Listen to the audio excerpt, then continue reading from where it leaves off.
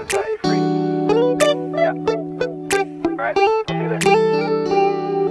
midnight, we're going all night. Can you pass a drink to get the vibe right? Don't feel like having a Bud Light. How's tequila with some salt and lime?